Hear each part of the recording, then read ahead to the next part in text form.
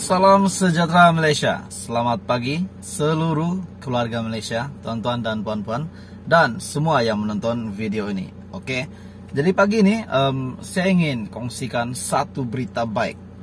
Berita baik yang ramai nantikan khas untuk golongan B40 dan golongan-golongan penerima bantuan seluruh Malaysia dan juga seluruh negeri.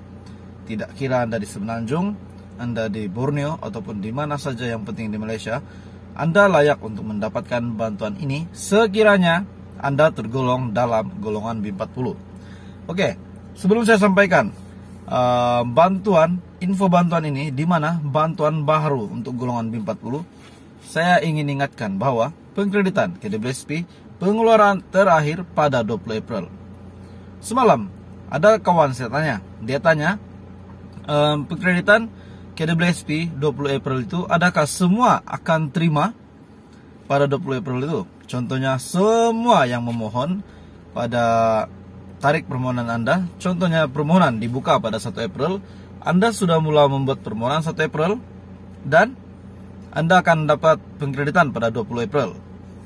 Jadi di sini untuk kita lihat secara logik, untuk kita nilai secara logik. Jika kita memohon awal, sudah pasti kita juga akan mendapat pengkreditan seawal mungkin.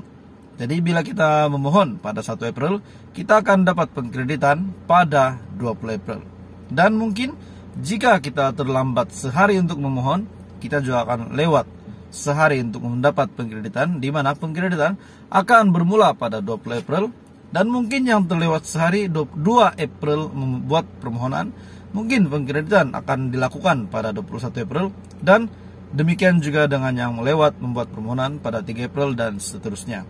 Namun, jangan risau sebab permohonan KWSP pengeluaran khas terakhir akan diteruskan sehingga 30 April bulan April ini. Sehingga 30 hari bulan April ini tetap akan diteruskan pengeluaran khas terakhir permohonan. Jadi kepada Anda yang belum membuat permohonan, yang ingin membuat permohonan Anda dipersilakan oleh KWSP, oleh kerajaan, oleh Menteri Keuangan, Perdana Menteri kita juga. Mereka telah membuat satu inisiatif ini di mana permohonan KWSP khas ini diteruskan sehingga 30 April dan kepada Anda yang ingin membuat permohonan, Anda masih boleh membuat permohonan. So, jangan risau dan semoga pengkreditan akan lancar dan dikreditkan secepat mungkin. Kita juga berharap yang lewat mohon akan mendapat pengkreditan pada 20 April. So, itu perkongsian pagi ini untuk pengeluaran khas KWSP. Dan esok pula 15 April permohonan baru bantuan untuk golongan B40 untuk keluarga untuk isi rumah yang layak.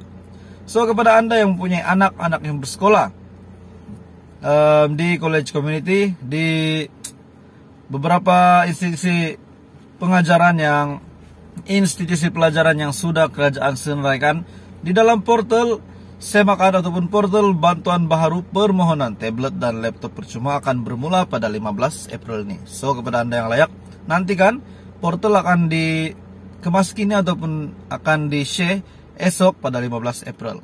So itu saja berita baik yang saya ingin kongsikan kepada Anda.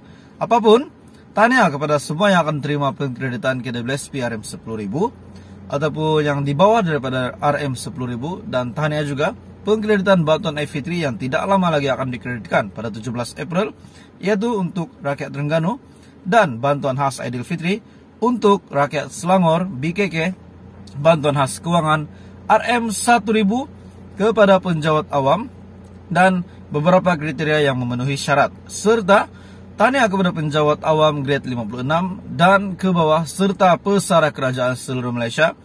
Perdana Menteri ada umumkan bantuan keuangan Fitri sebanyak RM500 untuk penjawat awam dan untuk pesara kerajaan RM250. So itu saja perkongsian admin pagi ini. Semoga Anda dalam keadaan yang baik. Terima kasih kepada semua yang sudah subscribe channel ini. Terima kasih kepada semua yang sudah bersama dalam channel ini. Semoga Tuhan merahmati Anda. Semoga Tuhan memberkati Anda. Itu saja hari ini. Terima kasih Malaysia kerana menonton.